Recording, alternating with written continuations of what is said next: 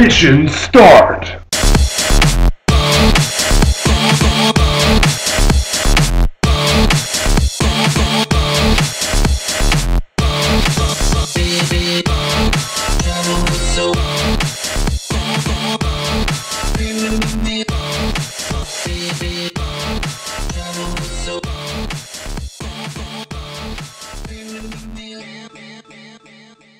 Hey guys, it's Kyle. And Denzel. And as you can see from my background, which looks a little bit choppy, um, we're going to do a quick video on um, vWallpaper. You are such a creepy. Yay. Alright, but um, basically it's another Pimp My iPhone episode, and all you do is you download an application that looks like this.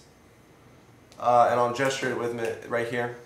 And what it will allow you to do, we'll go ahead and open it up, is um, vWallpaper. V ringtones. iPhone.degrange.net. Oh god. Um, you're going to be able to uh, initiate video wallpapers, video ringtones, uh, if you have an iPhone. And so, uh, video wallpapers for iPod Touch also. And basically, you just select a video. So I'll go ahead and pick uh, Electric Blue, and it shows you a quick preview of that. Obviously, in uh, real time, this is uh, used. Um, it's over the Wi-Fi connection, so it's a bit choppy. But in reality, it'd be really cool looking. So we'll say yes, I want.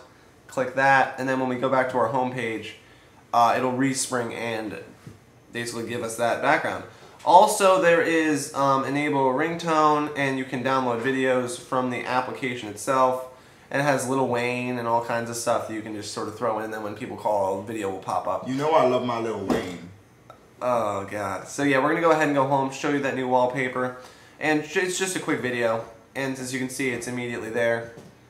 And uh, with the clear icons from uh, Glasklart, it's a very cool effect. And it's something impressive or something different though than uh, having BossPaper cycle through your wallpaper or just having some pretty picture in the background.